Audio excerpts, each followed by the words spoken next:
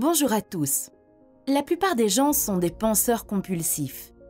Lorsqu'on leur dit qu'il y a une voix dans leur tête qui ne cesse de parler, ils répondent ⁇ Quelle voix ?⁇ ou nient rageusement, ce qui est bien sûr la voix. La voix dans leur tête est comme un virus qui a pénétré dans votre cerveau et a pris possession de votre vie. Cette voix peut littéralement vous tuer si vous la laissez sans contrôle. Elle a conduit de nombreuses personnes au suicide, à la dépression et à l'anxiété. L'objectif de cette vidéo est de vous sensibiliser afin que vous puissiez faire taire cette voix et reprendre le contrôle de votre vie. Les informations que vous allez entendre dans cette vidéo proviennent d'un livre intitulé Nouvelle Terre, l'avènement de la conscience humaine d'Eckhart Tolle.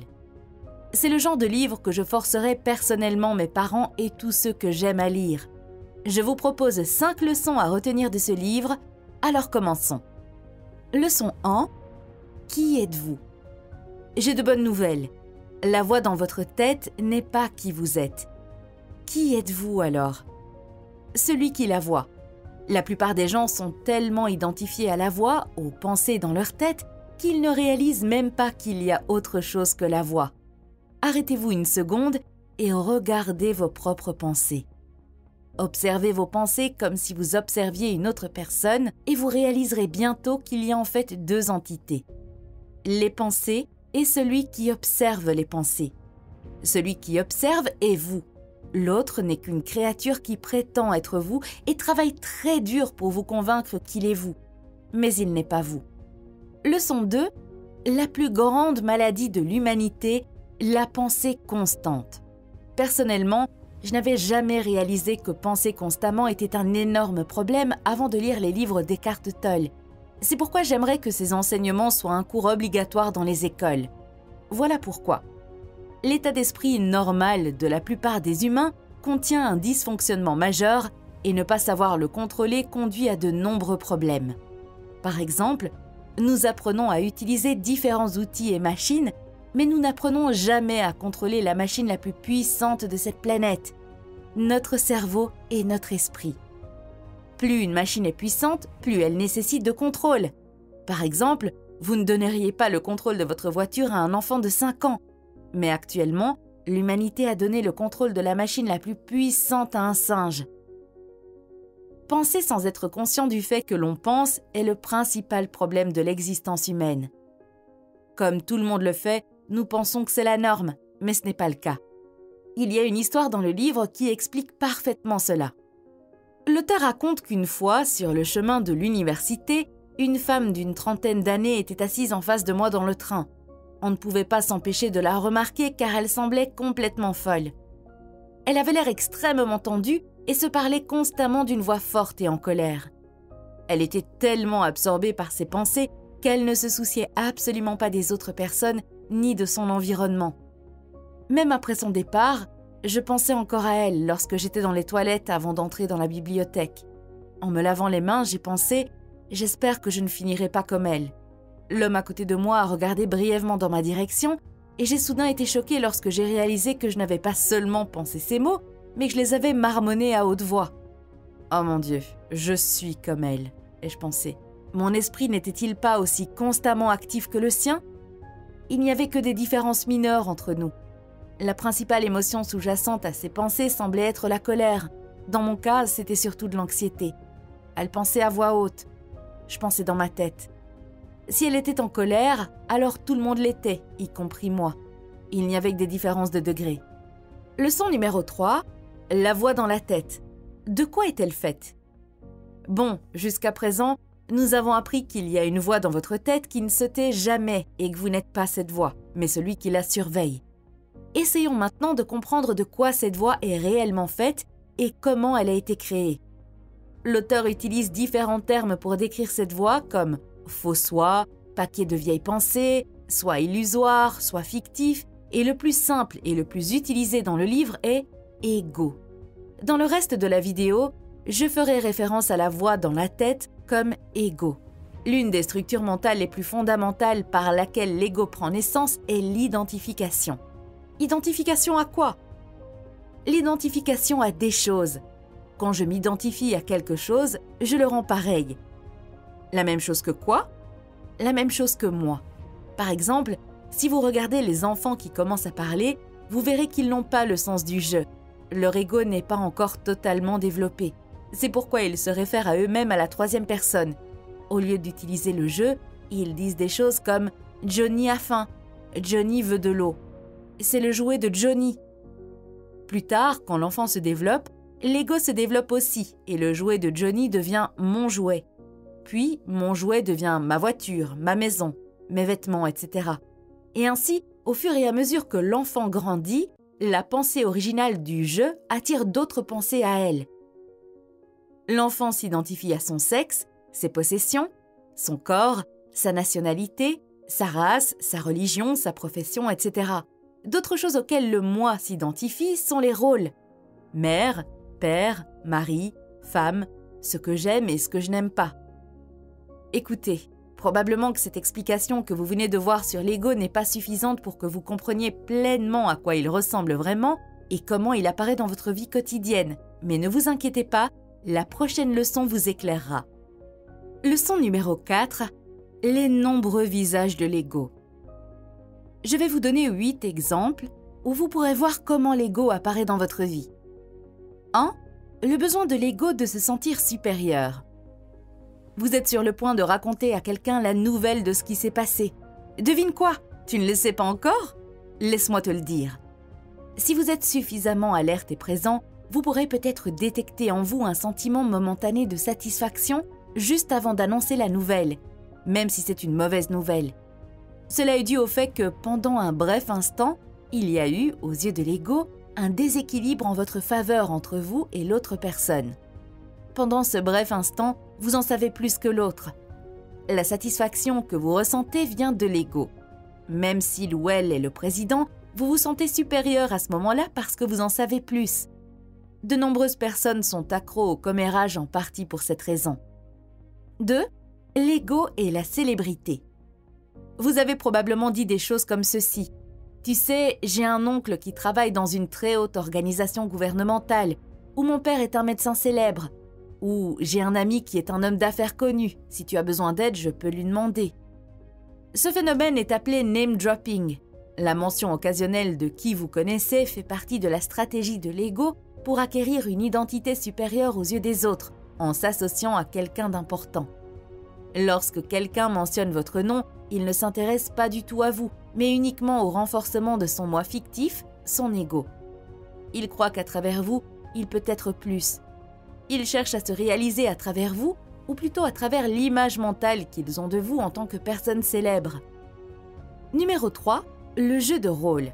Si vous êtes suffisamment conscient pour observer la façon dont vous interagissez avec d'autres personnes, vous pouvez détecter des changements subtils dans votre discours, votre attitude et votre comportement en fonction de la personne avec laquelle vous interagissez. La façon dont vous parlez au président de la société peut être subtilement différente de celle dont vous parlez au concierge. La façon dont vous parlez à un enfant peut être différente de la façon dont vous parlez à un adulte. Comment cela se fait-il? Vous jouez des rôles. Vous n'êtes pas vous-même, que ce soit avec le président, le concierge ou l'enfant. L'un des rôles les plus courants est celui de parent. Les parents qui s'identifient à ce rôle ne peuvent se défaire de leur rôle de parent, même lorsque l'enfant devient adulte.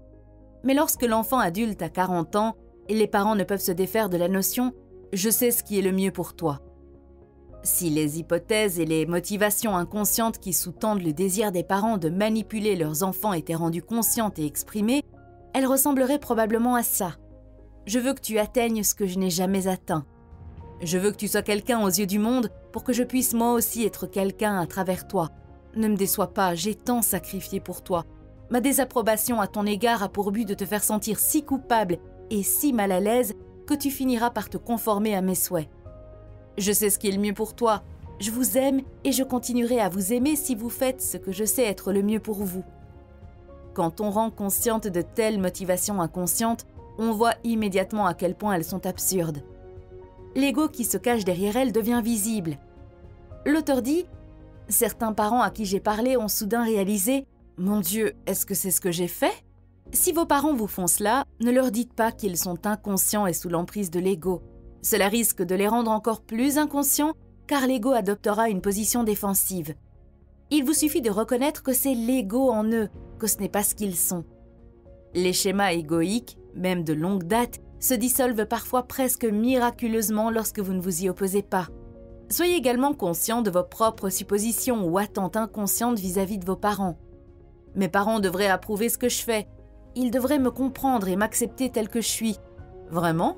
Pourquoi le feraient-ils? Le fait est qu'ils ne le font pas parce qu'ils ne le peuvent pas.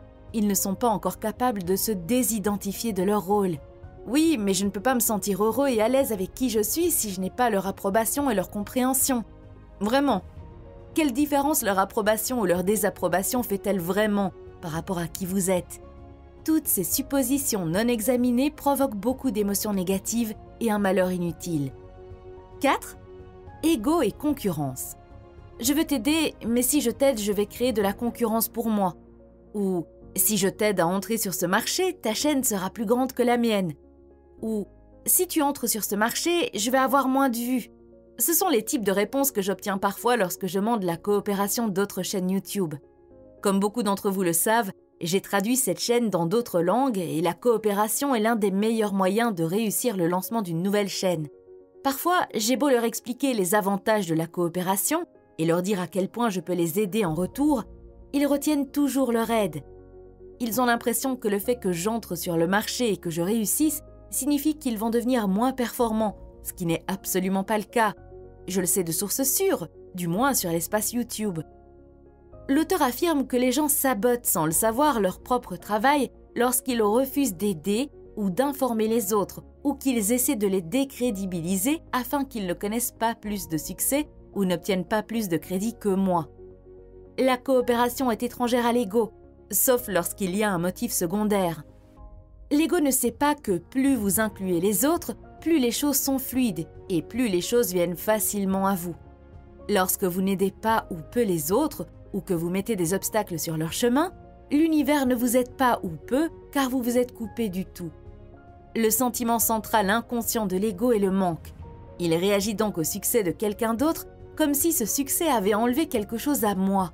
Il ne sait pas que votre ressentiment à l'égard de la réussite d'une autre personne empêche vos propres chances de réussite. 5. L'ego et la négativité. Chaque fois que vous êtes dans un état négatif, prêtez attention et vous verrez qu'il y a quelque chose en vous qui veut la négativité. Il perçoit la négativité comme plaisante ou croit qu'elle vous permettra d'obtenir ce que vous voulez. Sinon, qui voudrait s'accrocher à la négativité, se rendre malheureux et rendre les autres malheureux et créer des maladies dans le corps? Ainsi, chaque fois qu'il y a de la négativité en vous, si vous pouvez être conscient à ce moment-là qu'il y a quelque chose en vous qui y prend du plaisir ou qui croit que cela a un but utile, vous devenez conscient de l'ego directement. Si au milieu de la négativité vous êtes capable de réaliser, en ce moment je crée de la souffrance pour moi, cela suffira à vous élever au-dessus des limites, des états et des réactions égoïques conditionnées. Cela ouvrira des possibilités infinies. 6 ego et manque. Ils ne m'apprécient pas assez malgré tout ce que j'ai fait pour eux. Je mérite une augmentation de salaire, mais mon manager ne me la donne pas.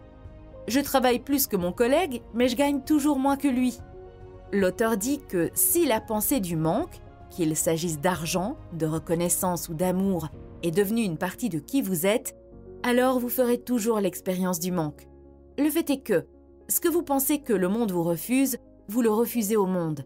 Vous le retenez parce qu'au fond de vous, vous pensez que vous êtes petit et que vous n'avez rien à donner. Essayez ceci pendant quelques semaines et voyez comment cela change votre réalité.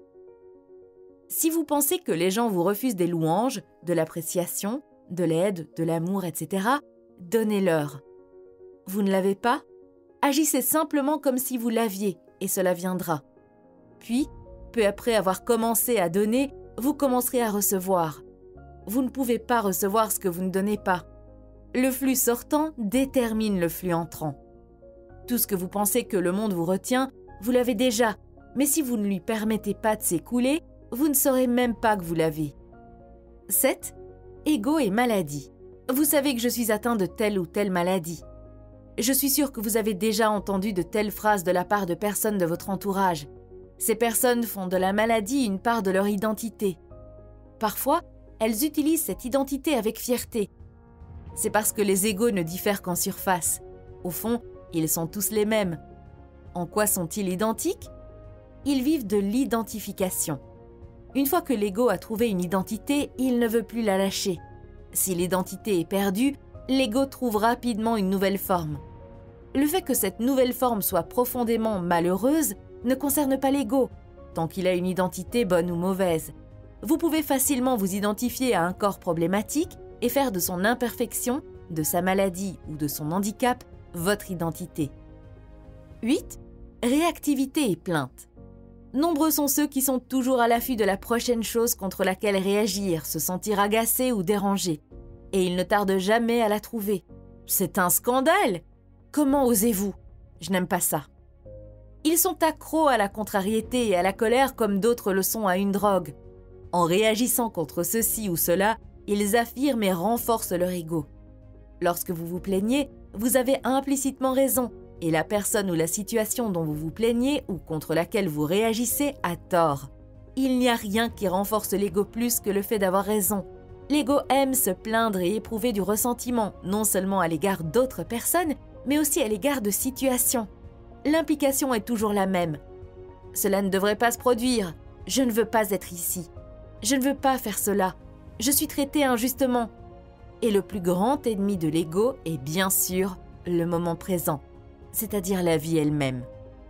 Leçon numéro 5. Solution. Comment reprendre le contrôle de votre vie? J'ai trois conseils pratiques à vous donner. 1. Observez vos pensées. Vous ne pouvez pas lutter contre l'ego et gagner, tout comme vous ne pouvez pas lutter contre l'obscurité. La lumière de la conscience est tout ce qui est nécessaire. Vous êtes cette lumière. Dès que vous mettez de la lumière sur l'ego, il se dissout. Ainsi, tout ce dont vous avez besoin pour commencer à séparer votre vrai moi de votre moi égoïque est d'observer vos pensées. L'auteur appelle cela observer le penseur.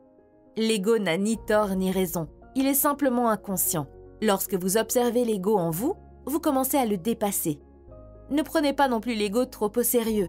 Lorsque vous détectez un comportement égoïste en vous, souriez. Parfois, vous pouvez même rire, mais surtout, sachez que l'ego n'est pas personnel il n'est pas ce que vous êtes. Si vous considérez que l'ego est votre problème actuel, ce n'est que de l'ego en plus. Chaque fois que vous serez présent et que vous remarquerez cette voix, vous réaliserez également que vous n'êtes pas la voix, mais celui qui en est conscient. dès que vous prenez conscience de l'ego en vous, il n'est plus l'ego, mais juste un vieux schéma mental conditionné. Cela conduira à l'effondrement de l'ego. 2. Soyez conscient de votre respiration. L'auteur dit Quelqu'un m'a récemment montré la liste des cours et des séminaires d'une grande organisation spirituelle. En la parcourant, j'ai été impressionné par le large choix de séminaires et d'ateliers intéressants. Cela m'a rappelé ces buffets scandinaves où l'on peut faire son choix parmi une grande variété de plats alléchants. La personne m'a demandé si je pouvais recommander un ou deux cours. Je ne sais pas, lui ai-je répondu. Ils ont tous l'air si intéressants. Mais je sais ceci, ai-je ajouté. Prenez conscience de votre respiration aussi souvent que vous le pouvez, chaque fois que vous vous en souvenez. Faites-le pendant un an et cela vous transformera plus puissamment que de suivre tous ces cours, et c'est gratuit. Je pense personnellement que c'est l'un des conseils les plus faciles et pourtant les plus efficaces, surtout pour les débutants. Tout simplement, prenez conscience de votre respiration. Remarquez la sensation du souffle. Sentez l'air entrer et sortir de votre corps. Remarquez comment la poitrine et l'abdomen se dilatent et se contractent légèrement avec l'inspiration et l'expiration. Une seule respiration consciente suffit à faire de l'espace là où il y avait auparavant la succession ininterrompue d'une pensée après l'autre. Une respiration consciente, deux ou trois serait encore mieux, prise plusieurs fois par jour, est un excellent moyen d'apporter de l'espace dans votre vie. 3. Ressentir le corps intérieur quelle que soit l'apparence de votre corps au niveau extérieur, au-delà de la forme extérieure se trouve un champ d'énergie intensément vivant. Si vous n'êtes pas familier avec la conscience du corps intérieur, fermez les yeux un instant et découvrez s'il y a de la vie dans vos mains. Ne demandez pas à votre esprit, il vous dira ⁇ je n'en sais rien ⁇ il dira probablement aussi ⁇ donnez-moi quelque chose de plus intéressant à penser ⁇ Donc, au lieu de demander à votre esprit, allez directement aux mains. Pour cela, je veux dire prendre conscience de la sensation subtile de vivacité en elle. Elle est là. Il suffit d'y aller avec votre attention pour le remarquer. Vous pouvez avoir une légère sensation de picotement au début, puis une sensation d'énergie ou de vivacité. Si vous maintenez votre attention dans vos mains pendant un certain temps, la sensation de vivacité s'intensifiera. Certaines personnes n'ont même pas besoin de fermer les yeux, elles pourront ressentir leurs mains intérieures en même temps qu'elles regardent cela. Ensuite, allez vers vos pieds, maintenez-y votre attention pendant une minute ou deux et commencez à sentir vos mains et vos pieds en même temps. Puis, incorporez d'autres parties du corps, jambes, bras, abdomen, poitrine, etc. à cette sensation jusqu'à ce que vous soyez conscient du corps intérieur et de sa vivacité. Ce que l'auteur appelle le corps intérieur n'est plus vraiment le corps, mais l'énergie vitale, le pont entre la forme et l'informe. Prenez l'habitude de ressentir votre corps intérieur aussi souvent que vous le pouvez. Au bout d'un moment, vous n'aurez plus besoin de fermer les yeux pour le ressentir. La conscience du corps ne fait que vous ancrer dans le moment présent. C'est une porte de sortie de la prison créée par l'ego. Elle renforce également le système immunitaire et la capacité du corps à se guérir lui-même. Enfin, j'aimerais mentionner deux choses que je n'ai personnellement pas aimées dans ce livre en tant que lecteur. 1. J'ai dû écouter certains chapitres plusieurs fois pour les comprendre. Ce serait formidable si l'auteur simplifiait certaines choses et incluait des explications et des histoires plus pratiques. Une chose qui a été immensément utile pour accélérer le processus de compréhension a été de combiner l'audio et le texte. Pendant que j'écoutais le livre, je lisais également ce que j'entendais. Il s'agit d'une méthode très efficace en général pour apprendre quoi que ce soit, car vous faites appel à vos oreilles et à vos yeux. Si vous êtes novice en matière de livres audio, je vous recommande de consulter l'application Audible que j'utilise personnellement. Vous pouvez obtenir ce livre ou tout autre livre gratuitement si vous vous inscrivez à un programme d'essai gratuit de 30 jours. Audible est particulièrement efficace pour écouter des livres en anglais. Si vous apprenez l'anglais, il peut également servir d'outil pour améliorer vos capacités d'écoute tout en apprenant de nouvelles choses dans les livres. Vous pouvez facilement régler la vitesse de la narration si vous êtes débutant ou l'augmenter si vous êtes avancé. Revenons maintenant au sujet. La deuxième chose que je n'ai pas aimé dans ce livre est que l'auteur fait des références religieuses assez souvent, ce qui peut être dû au fait que la spiritualité et la religion sont assez proches. Cependant, comme le dit l'auteur Joe Dispenza, dès que vous incluez la religion, vous divisez le public. De toute évidence, certaines personnes sont religieuses et d'autres non. Joe Dispenza lui-même parle de sujets assez similaires, mais il s'appuie surtout sur la science pour expliquer les choses, ce que je préfère personnellement. Ce n'est que mon opinion et vous êtes libre de ne pas être d'accord. Je prévois de publier une autre vidéo basée sur ce livre, alors assurez-vous d'être abonné et d'avoir activé la notification sinon vous risquez de ne pas être averti. Si vous pensez que cette vidéo est utile et que davantage de personnes devraient la voir, mettez un like. Cela ne vous coûte rien, mais cela permet de recommander la vidéo à d'autres personnes. Merci beaucoup d'avoir regardé cette vidéo et passez une excellente journée. À bientôt!